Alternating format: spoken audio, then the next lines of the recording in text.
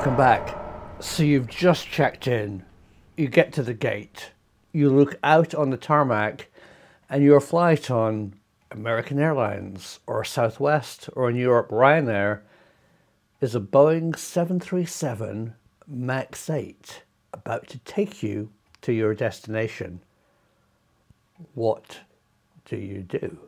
I'm really intrigued to know what passengers think about flying on the now recertified Boeing MAX 8. You have to remember that two identical MAX 8 planes crashed with a total loss of life with an identical fault. The system that failed has not gone away. Inherently, the MAX 8 series still needs the MCAS system to push the nose down if the airplane over rotates due to the size of these enormous LEAP engines which are being hung under the wings of this hybrid new supposedly 737 and nothing has changed.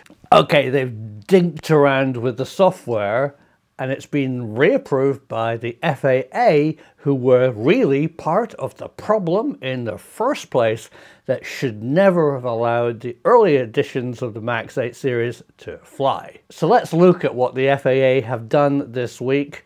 Let's look at Europe. Let's look at the rest of the world and their attitude towards the Boeing MAX 8. And I really want to hear from you as a flying member of the public of what your attitude is about boarding a 737 MAX 8. Let's recap. This is from the excellent AV Web.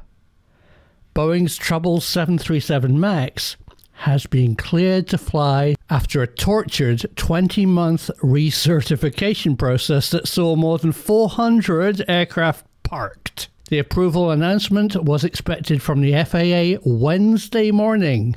However, the aircraft won't be returned to service immediately, and airlines that own them will relaunch them into a pandemic battered travel market, suffering the lowest airline revenues in decades. The FAA will require modifications to the MAX's controversial MCAS flight control enhancement system and correction of numerous other flaws found during the recertification effort. It will also require type specific training related to the two accidents that prompted their grounding and recertification. Let's not forget the Lion Air crash off Jakarta and the Ethiopian Airlines MAX 8 crash near Addis Ababa.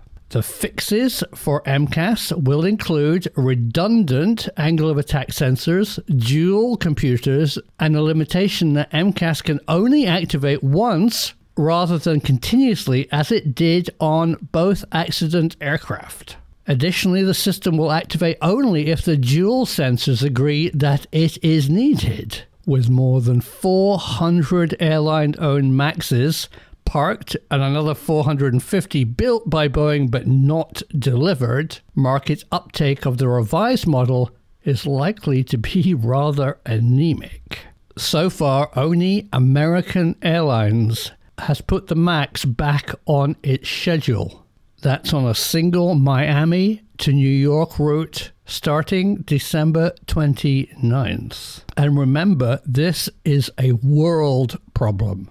The European Aviation Safety Agency says it's satisfied with the MAX's modifications, but the approval is still pending. So I wasn't going to do this, but I have to. What do I think about the recertification of the Boeing MAX 8? Well, I think it comes down to one word, and that word is trust. Do we now trust Boeing? Who really messed up on the first iteration of their Boeing MAX 8 aircraft. Boeing CEO left, and they've gone out of their way, of course, to fix the MAX 8 problem.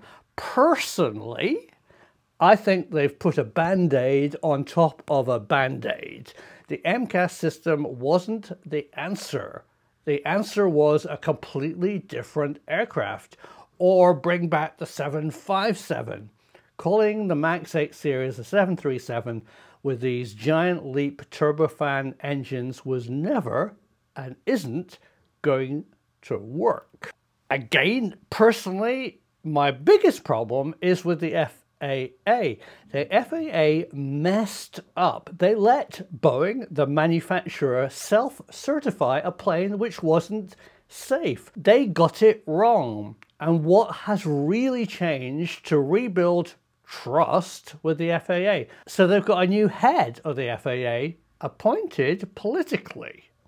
And what he's done is a PR exercise to say, I flew the MAX 8 and it's great. But what I'm not hearing is that the FAA has changed, that it will no longer let manufacturers self certify, that they will check a new model or type of all new aircraft to safety certification standards. That's my humble and personal opinion.